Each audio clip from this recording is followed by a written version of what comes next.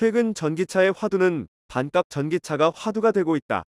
작년 말부터 전기차 판매가 주춤하는 현상이 나타나는 이유는 하이브리드차 대비 전기차의 전체적인 가성비가 떨어지고 있다는 뜻이다. 더욱 높아지는 충전 전기비, 낮아지는 보조금과 아직은 불편한 충전 인프라는 물론이고 전기차 화재 등 전체적으로 미덥지 못한 부분이 많다는 뜻이다. 이러한 각종 단점을 한꺼번에 날리는 방법은 전기차의 가격을 크게 낮추어 반값 전기차로 구현하는 방법이라 할 수 있다. 중국 전기차 제작사를 필두로 테슬라 등도 반값 전기차를 이유로 발동을 걸면서 점차 전기차 가격이 낮아지고 있다. 중국 시장에서는 이미 경쟁력이 낮은 중국산 전기차 제작사에 불어닥친 전기차 가격 하락 경쟁으로 이미 많은 수의 전기차 제작사가 도산되어 이제 약 100여 개사 정도만 남아있을 정도이다. 아마도 머지않아 10에서 20개 정도만 남는 상황으로도 예상되고 있다. 글로벌 시장에 불어닥친 전기차 가격 하락은 국내도 예외는 아니라 할 수 있다. 작년 후반부터 테슬라의 상하이 공장에서 국내에 수입된 모델 Y는 중국산 리튬인 산철 배터리를 탑재하고 옵션을 줄이면서 큰 폭의 가격 하락이 진행되어 절찬리에 판매되고 있을 정도가 되었다. 이러한 경향은 글로벌 시장으로 확대되고 있다. 물론 이러한 상황에서 글로벌 제작사가 할 수 있는 방법은 한계가 크다고 할 수 있다. 가장 효과가 큰 방법이 리튬이온 배터리 대신 리튬인산철을 사용하는 방법하기도 하고 제작 공법을 개선하여 giga press 방법을 사용하거나 자동차 전압 승압, 페라이트 모터 사용 등 여러 방법이 동원되고 있으나 가격 하락은 한계가 큰 상황이다. 이러한 반값 전기차를 구현하는 가장 중요한 game changer가 바로 전기차용 고단 자동 변속기 탑재라 할 수 있다. 현재 전기차는 모터의 높은 고속 회전수를 감속기를 거쳐서 낮은 속도로 변경하여 바퀴에 전달하는 특성을 사용하고 있다. 그러나 이 방법은 매우 비효율적이고 에너지 낭비가 커서 상대적으로 높은 용량의 모터를 사용해야 하고 더욱 큰 배터리를 사용하여 무게는 물론 고가의 비용을 지불하는 상태라 할 수 있다. 물론 기존 내연기관차와 같이 변속기를 사용하면 좋은 효과가 나오지만 내연기관차에 사용하는 변속기 기술은 유압이나 복잡성과 크기, 무게 등 어느 하나 사용할 수 있는 방법은 아니어서 별도로 새롭게 개발 보급해야 하는 문제점을 안고 있다고 할 수 있다. 전기차의 변속기를 사용하기 위해서는 기본 조건으로 경박 단소의 기본 특성이 요구된다고 할 수 있다. 유압을 사용하지 않으면서 가볍고 얇으며 간단 명료하고 크기가 작아야 한다는 것이다. 결국 모터와 결합되면서 전체적으로 크기가 작은 일체형 모듈로 개발해야 한다는 점이다. 최근 5년 전부터 포르쉐 타이칸이라는 전기 스포츠카의 후륜의 2단 변속기를 세계 최초로 구현하여 좋은 효율을 나타낼 정도로 성과가 크다고 할 수 있다. 이 시스템이 입증되자 같은 그룹인 폭스바겐 그룹에서 계열사인 아우디 이트론에 똑같은 2단 시스템을 탑재하고 있다.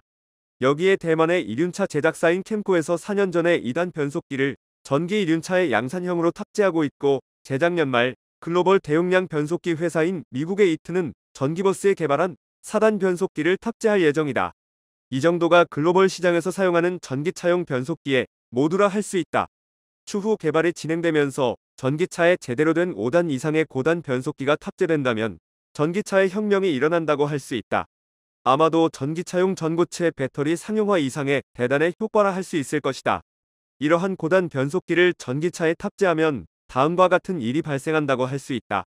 우선 같은 배터리 용량으로 최소 30%에서 최대 50%까지 주행거리가 늘어난다는 것이다. 이 하나의 요소만으로 획기적인 효과가 나타난다고 할 수 있다. 여기에 등판 능력이 획기적으로 증가하여 아무리 높은 언덕이어도 용이하게 올라갈 수 있다는 점이다. 이 경우 변속기가 없는 일반 전기차의 경우는 모터의 온도가 급격하게 올라가면서 모터와 배터리 온도를 낮추기 위한 냉각 장치가 대용량으로 설치되어야 하나 고단 변속기가 탑재되면 모터의 온도는 약 60에서 70도 정도로 유지되면서 더욱 높은 언덕을 큰 에너지가 필요 없이 등판할 수 있다는 것이다. 이 경우 냉각 장치도 필요 없을 정도로 일반 상온을 유지할 정도라고 할 수 있다. 개념이 다른 것이다. 결국 장치의 간소화, 무게 감소, 모터 수명 연장은 물론 냉각 장치도 없어서 비용 감소는 기본이고 배터리 용량을 적게 하면서 주행거리가 느는 만큼 일석십조의 효과가 나타난다고 할 수 있다. 즉 앞서 언급한 반값 전기차 구현의 천병 역할을 한다는 것이다. 이러한 목표를 달성하기 위하여 글로벌 기업은 전력을 기울여 기술 개발에 여념이 없는 상황이다. 물론 이러한 초격차 신기술은 우리나라 스타트업이 이미 전기 이륜차용 7단 자동 변속기를 개발하여 양산형으로 준비하고 있을 정도로 앞서가고 있어서 기대가 되고 있다고 할 수 있다. 이미 이러한 상황을 인지한 중국, 인도네시아 등은 이미 접촉을 진행하여 곧 일반 전기차와 이륜차 등에 적용할 준비를 하고 있어서 글로벌 경쟁력을 높이는 측면에서 우리에게 시사하는 바가 크다고 할 수 있다. 우리 기술이 우리보다 해외 경쟁국에 제공된다는 것이고 이에 대한 고민도 해야 한다는 것이다. 반값 전기차는 머지않아 구현될 것이다.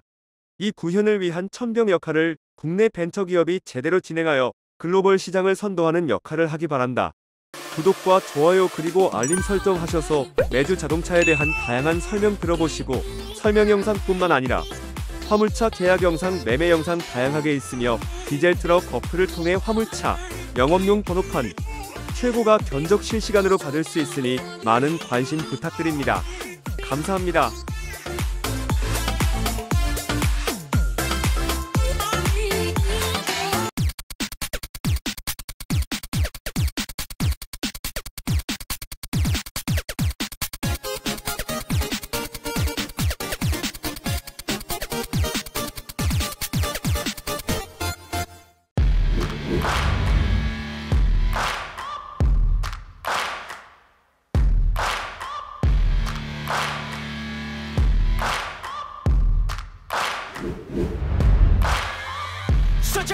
Greatness in a sea of the dying and shameless. Uh, a sea of the aimless. I don't wanna be one of the nameless.